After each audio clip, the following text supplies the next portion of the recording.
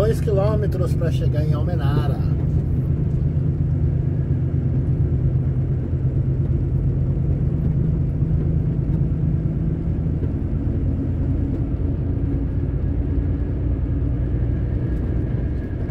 Almenara, à vista.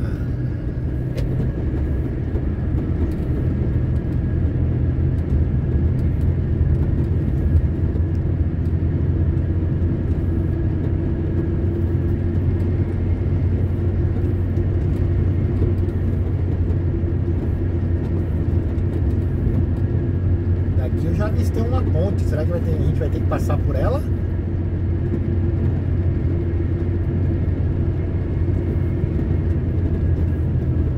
Almenara para direita, salto da divisa siga em frente, BR-101 siga em frente.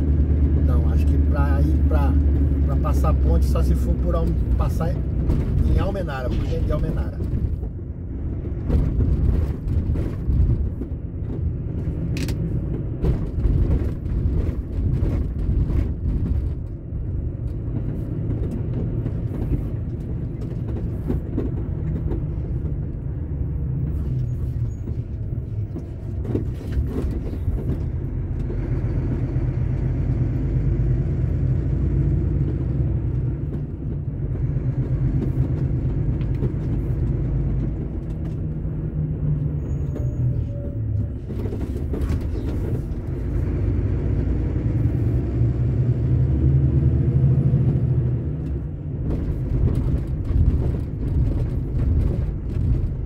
Essa redução de velocidade aqui uma assim, olha a lambuzinha. A lambuzinha voando na minha frente. Ela cruzou aqui na minha frente e foi voando na frente aqui. Só que eu acho que não pegou porque ela tava bem baixinha. Ponte sobre o córrego do Vigia. Extensão 34 metros. Olha. Não tem córrego, não tem vigia, não tem nada. Direção a BR 367.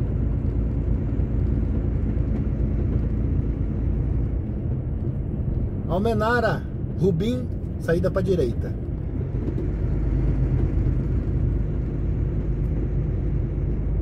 Curva suave à direita em direção a BR 367 e depois continue em frente.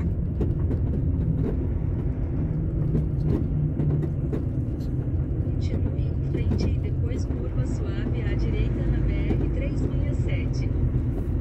Curva suave à direita na BR 367. Continue na BR 367 por 50 quilômetros.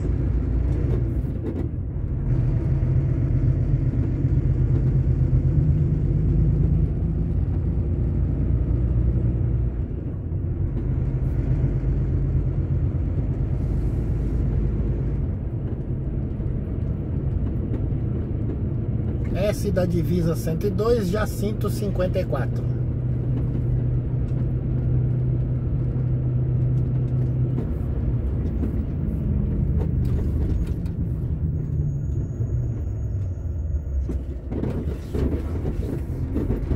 KM 101 da BR 367. A gente vai ter que chegar até a rodovia 101. e aqui nós estamos no KM 101 da 367.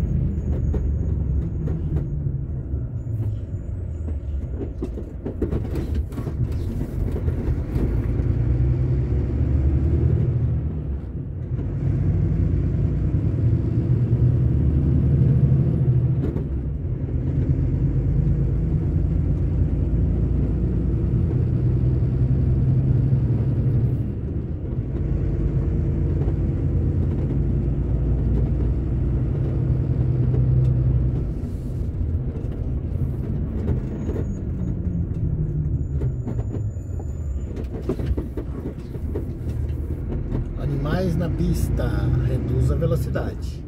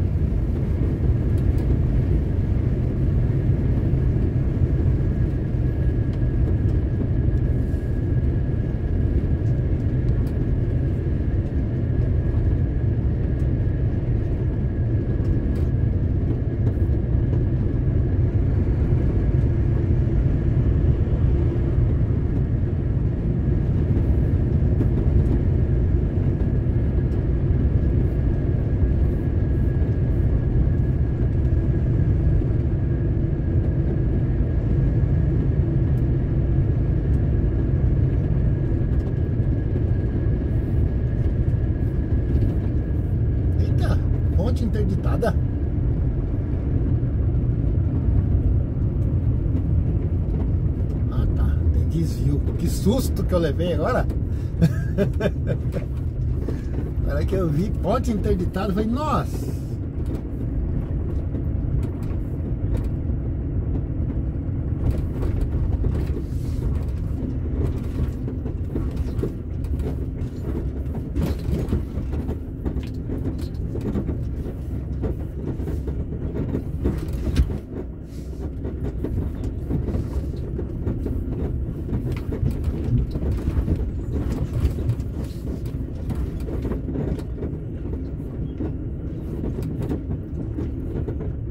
de madeira ainda, hein? Olha.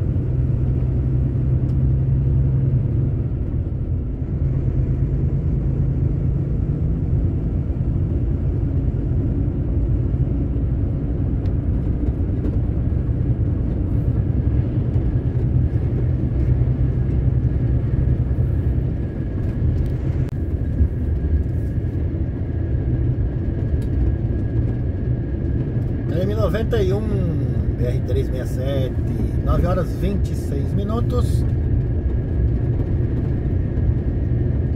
Estamos a 39 quilômetros da cidade de Jacinto. É, Segundo aqui o mapa da Dona Guga, né? Ultimamente a Dona Guga anda dando tombo em mim aí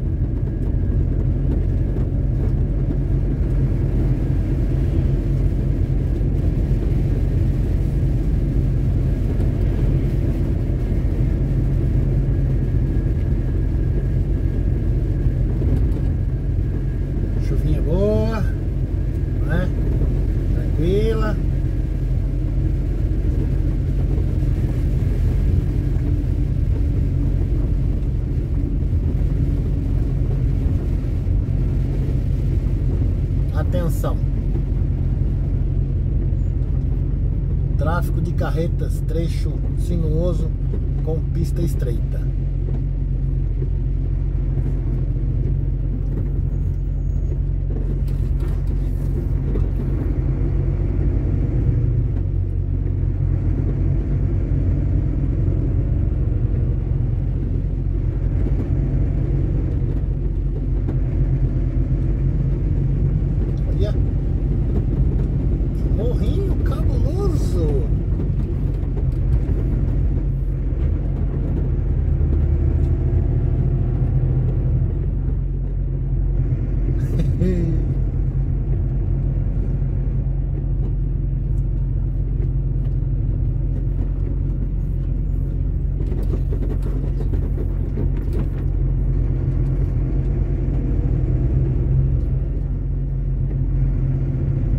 Pelo visto, não deve ter ponte ruim por aqui, porque é o tamanho da, da carga ali e aquele ali tá muito mais pesado que eu.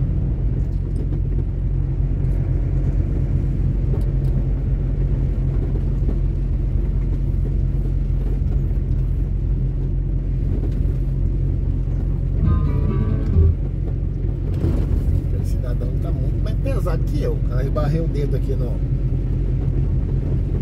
do rádio, funcionou o rádio sem querer, pessoal.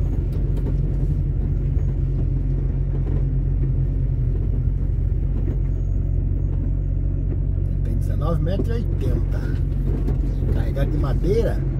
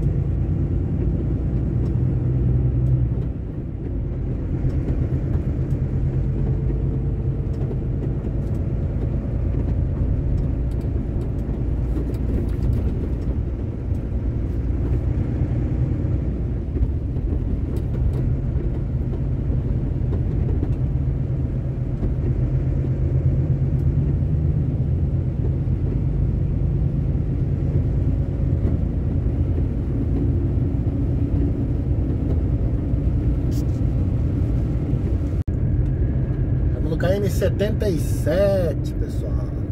Eu não estava gravando ainda, daí passou um carro dando farol aqui de encontro. acho que tem algo aí na frente aí.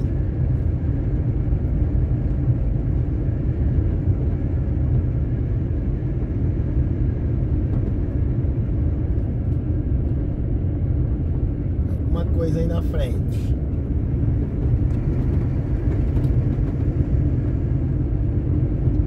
Ver o que que é.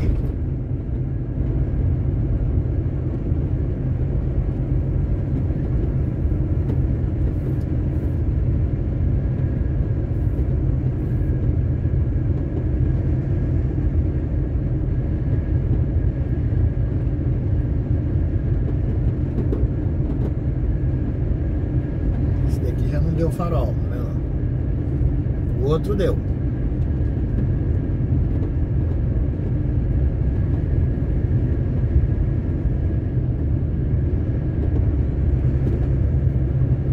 O outro piscou para aquela carreta e depois para mim e fez assim um sinal de atravessado com a mão, dizendo que tem alguma coisa atravessada na pista. Vamos ver esse caminhão aí. Nada, tá vendo? Nada. Esse outro carro, nada. Eu, hein?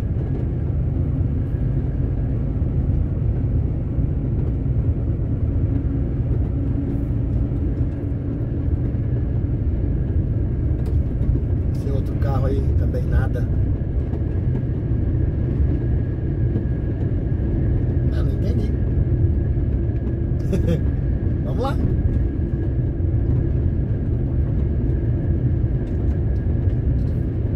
Vamos meio esperto aqui, né?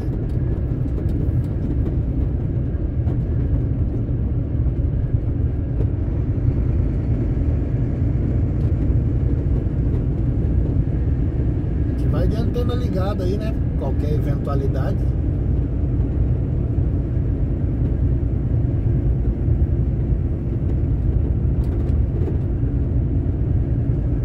Por enquanto nada.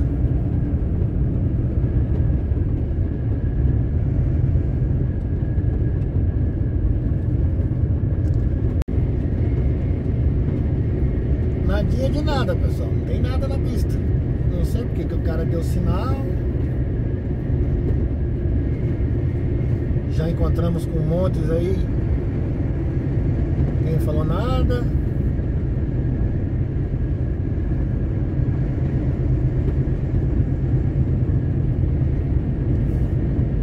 Rodoviazinha bem estreita mesmo essa daqui.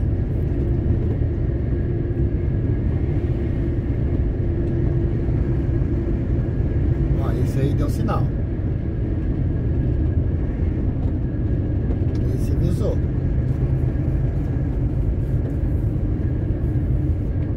Ah, tem um caminhão ali parado ali. Será que é ele?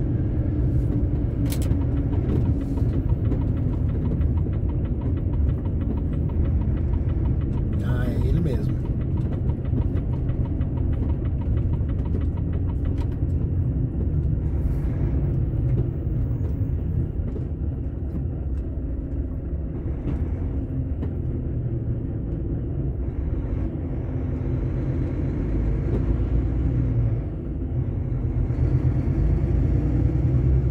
Acho que era ele mesmo. Tava quebrado aqui, mas já arrumou. É ele mesmo. Tem uns cones aqui.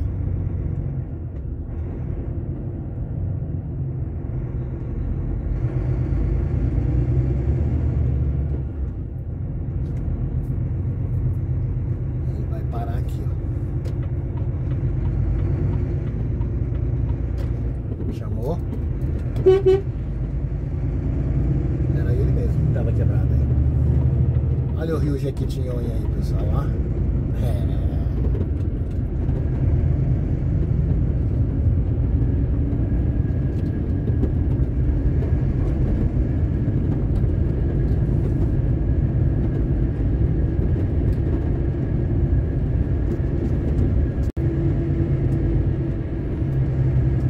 Nove horas cinquenta minutos, nove e cinquenta.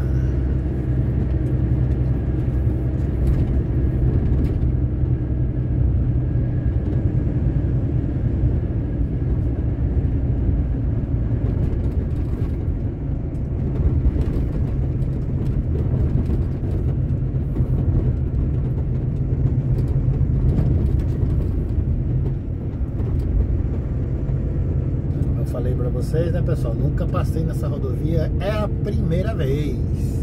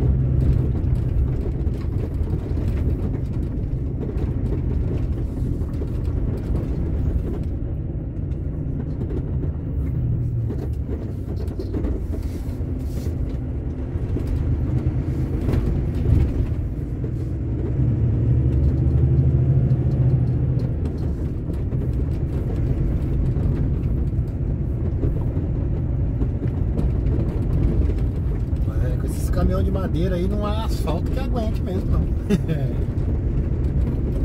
asfalto que aguente o peso desse caminhão de madeira aí. JSL anda com excesso de peso.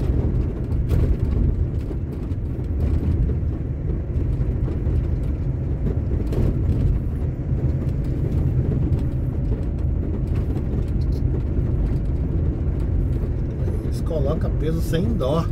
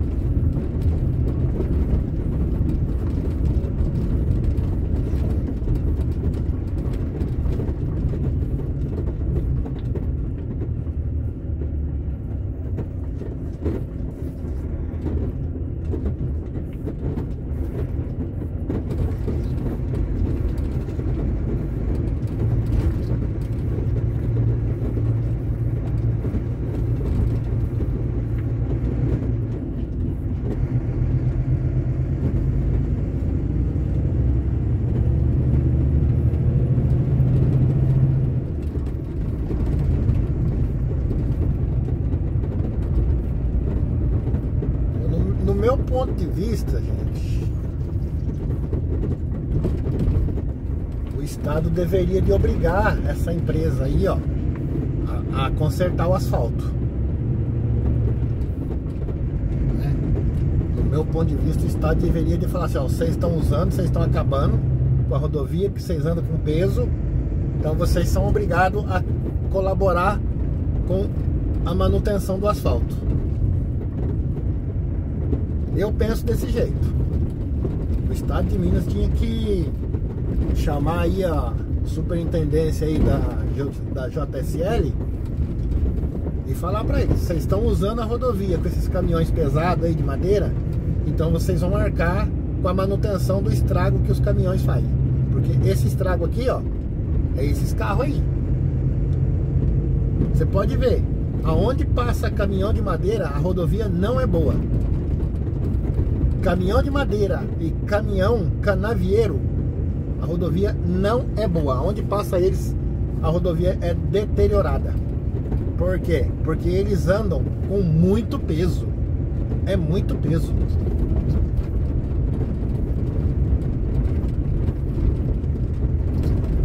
Aí eles passam com esses caminhões pesados. Estraga e o prejuízo fica para quem? O prejuízo fica para o Estado, porque eles enchem o bolso. Eles ganham dinheiro com isso daí.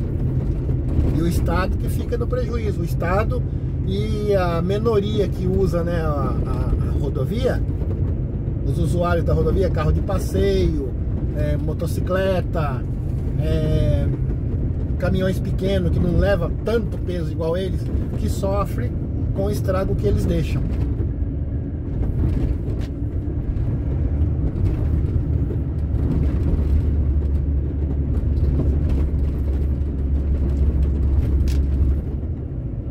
Motorista que está ali não tem culpa de nada.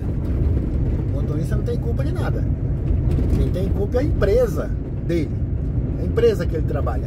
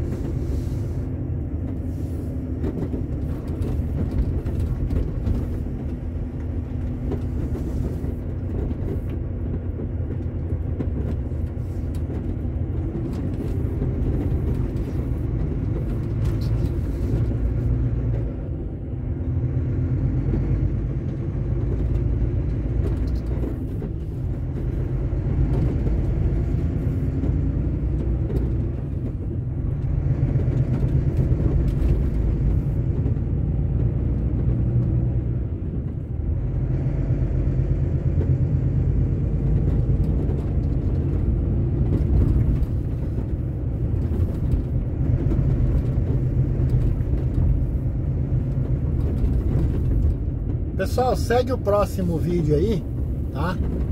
Eu vou encerrando esse por aqui. Um abraço a todos e até o próximo vídeo.